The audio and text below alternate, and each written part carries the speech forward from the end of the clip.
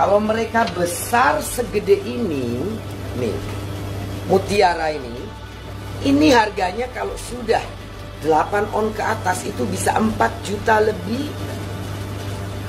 Pada saat hari rame Natal atau tahun baru Cina bahkan bisa lebih dari 5 juta. Yang kecil-kecil saja minimal ratusan ribu sudah harganya.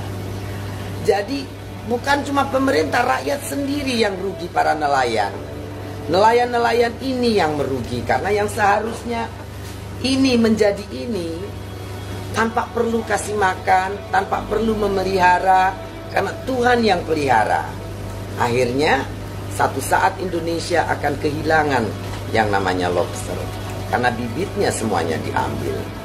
Jadi pemerintah melarang itu adalah dalam rangka menjaga sumber daya perikanan dalam hal ini lobster untuk terus ada karena lobster ini nilainya luar biasa Bayangkan kalau dalam satu tahun peredaran uang bibit itu bisa ratusan miliar.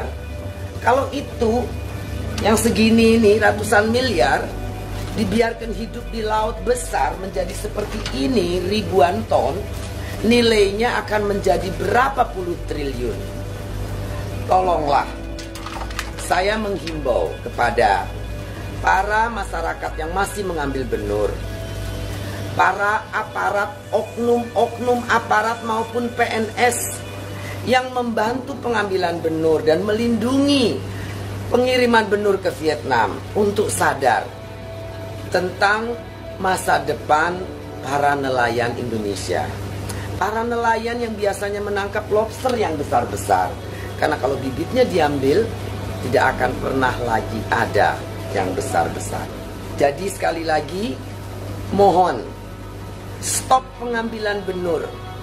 Seluruh oknum aparat pegawai negeri sipil yang sekarang melindungi untuk segera menghentikan demi masa depan anak cucu kita. Jangan sampai lobster hilang dari laut Indonesia.